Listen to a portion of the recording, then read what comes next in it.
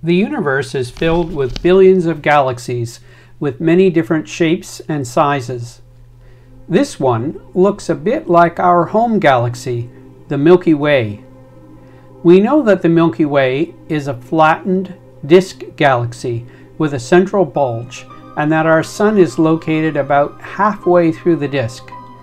But despite many years of study, astronomers still cannot determine many other basic properties of the galaxy, like the position and even the number of its spiral arms. Part of the reason is that our view of much of the galaxy is blocked by huge clouds of dust.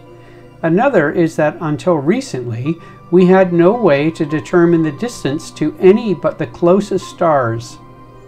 In the last two decades, NASA and ESA launched two amazing instruments to solve these problems and build a detailed map of the Milky Way.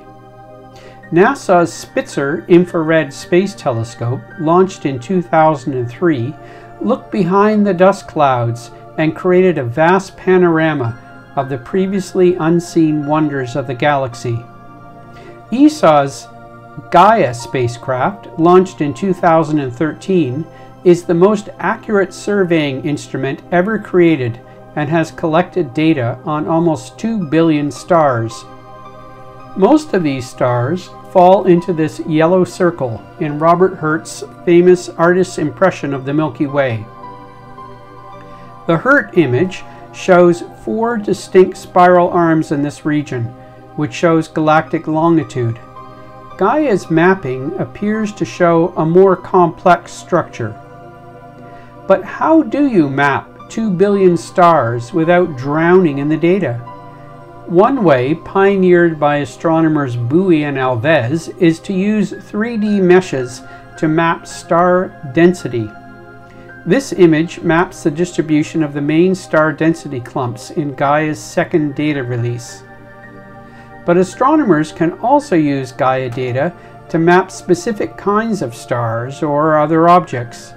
This image shows the density of ultra-hot O and B type stars, often believed to map the spiral arms. This image shows the distribution of young stellar objects discovered by the Spitzer Space Telescope. Here are clouds of ionized hydrogen gas. Here are dense clouds of dust, and here are vast banks of less dense dust. We can combine all of these objects together to form the beginning of a map of our region of the Milky Way and even add labels for known regions. But we can do more because these are 3D meshes and we can use them to build a model that we can fly through and explore.